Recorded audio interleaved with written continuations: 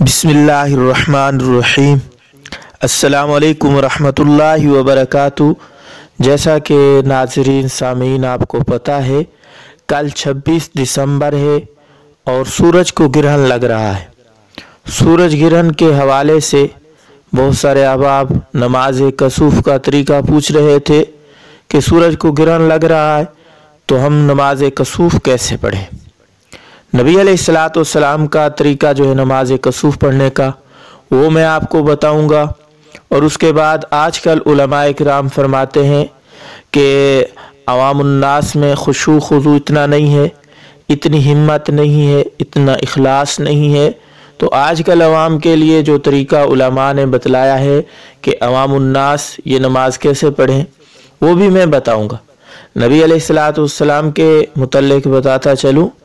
کہ صحابہ اکرام فرماتے ہیں ایک دفعہ سورج گرن ہوا۔ ہم دوڑے دوڑے نبی علیہ السلاۃ والسلام کی بارگاہ میں حاضر ہوئے کہ دیکھیں اللہ کے رسول اس وقت کیا کرتے ہیں۔ نبی علیہ السلاۃ والسلام دوڑے دوڑے مسجد کی طرف تشریف لے گئے اور مسجد میں جا کے وضو فرمایا اور مسجد میں دو رکعت نماز نفل کی نیت باندھ کے کھڑے ہو گئے۔ نبی علیہ السلاۃ والسلام نے لمبا قیام فرمایا جس کے اندر سورت البقرہ پڑھی۔ پھر رکوع میں گئے اور لمبا رکوع فرمایا۔ رکوع سے کھڑے ہوئے پھر قرات شروع کر دی۔ پھر لمبا قیام تھا۔ لمبی قرات فرمائی، لیکن یہ پہلی قرات جو فرمائی تھی، اس سے قدرے کم تھی۔ پھر نبی علیہ السلاۃ والسلام نے رکوع فرمایا اور لمبا رکوع فرمایا۔ لمبا رکوع فرمانے کے بعد پھر کھڑے ہو گئے۔ پھر سجدے میں تشریف لے گئے، دو سجدے فرمائے، پھر کھڑے ہو گئے اور یہ سجدے بھی لمبے لمبے سجدے تھے۔ پھر نبی علیہ السلاۃ والسلام کھڑے ہو گئے۔ نبی علیہ السلاۃ والسلام نے پھر لمبا قیام فرمایا، جس کے اندر بہت سارے قرآن مجید کی تلاوت فرمائی۔ اور یہ قیام پہلے دو قیاموں سے قدر کم تھا۔ پھر نبی علیہ السلاۃ والسلام رکوع میں تشریف لے گئے۔ نبی علیہ السلام نے لمبا رکوع فرمایا۔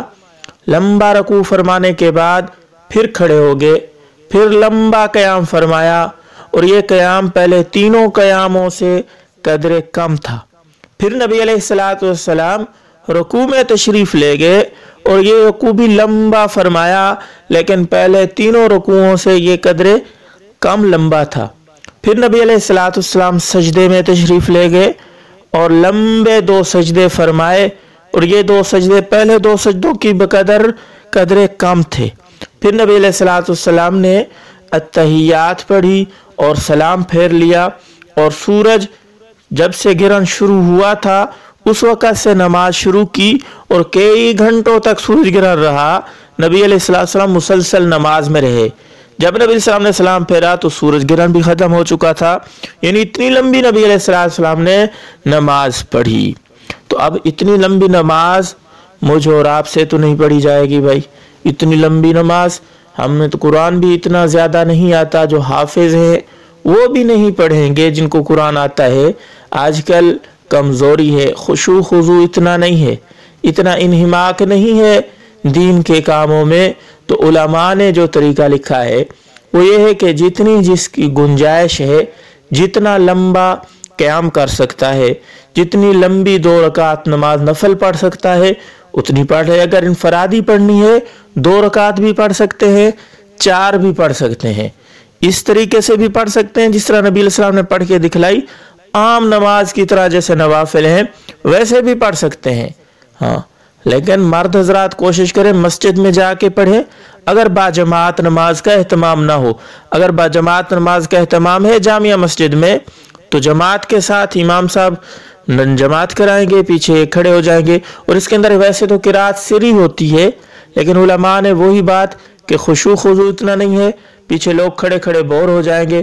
تو بلند آواز سے امام صاحب قرآت کریں گے تاکہ وہ قرآن کی آواز ان تک پہنچتی رہے۔ تو آواز پہنچتی رہے تو اتنا انسان بور نہیں ہوتا۔ تو یہ امام صاحب نماز کرائیں گے، دو رکعت نماز نفل پڑھیں گے۔